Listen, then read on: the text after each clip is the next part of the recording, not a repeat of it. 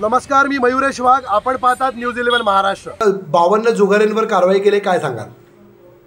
आमचे डिटेक्शन पथकाच्या अधिकाऱ्यांनी अंमलदार आहे त्यांना जुगार खेळतात अशी माहिती मिळाली होती. त्यानुसार आपण आमचे डीबीचे स्टाफ यांनी जाऊन त्या ठिकाणी रेड केली. तर ते ठिकाण चोरगेवाडी वर्तक रोड या ठिकाणी होते. त्या ठिकाणी रेड केल्यानंतर असं निदर्शनास आलं त्या ठिकाणी. काही लोक तेरा पत्ते खेळत होते काही लोक तीन पत्ता खेळत होते. असे वेगवेगळ्या प्रकारचे पत्ते खेळत असताना त्या ठिकाणी ते मिळून आले. त्यानुसार आपण एकूण बावन्न आरोपींवरती त्या ठिकाणी गुन्हा दाखल केलेला आहे.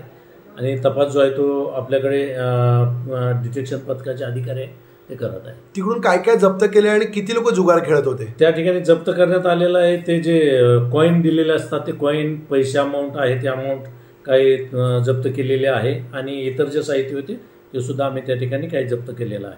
रोख रक्कम किती आहे त्याच्यामध्ये? रोख रक्कम साधारणतः चाळीस हजाराच्या आसपास आहे आणि बाकी काही कॉईन आहेत ते कॉईन सुद्धा आपण ताब्यात. आणि रात्री किती ते किती वाजेपर्यंत जुगार खेळत होते आणि किती जण जुगार खेळत होते? जुगार जुगार खेळायला एकूण साधारणतः तीस बत्तीस लोक होते. बाकी जे आहेत ते- ते काही जॉकी आणि चालवणारे वगैरे होते. प्रत्येक टेबलला माणसं अशा प्रकारे त्यांचे ते डिवायडेशन होतं.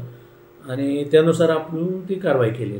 त्याच्यावर काय अटकेची कारवाई झाली किंवा काय झालं नाही अटकेची कारवाई नाही. यामध्ये आपण त्यांना प्रत्येकाला सुप्रीम कोर्टाच्या जे आदेश आहेत त्यानुसार सीआरपीसी फोर्टी वनचं नोटीस दिलेलं आहे. आणि त्यांना परत तपासाला बोलवलेलं आहे. हा जुगाराचा जो अड्डा आहे हा कधीपासून चालू होता किंवा कसं तुम्ही सगळ्यात मोठी कारवाई ही आतापर्यंतची विरार मधली सात आठ दिवसापूर्वी ते सुरू झालं होतं असं आपल्याला माहिती मिळते. सात आठ दिवसापूर्वी सुरू केलेलं होतं ते. त्यांचं मत असं आहे की त्यामध्ये जुगार हा म्हणजे तेरा पत्ते हा स्किल गेम आहे. पण त्या ठिकाणी स्किल गेमच्या नावाखाली ते तीन पत्ते सुद्धा त्या ठिकाणी खेळत होते.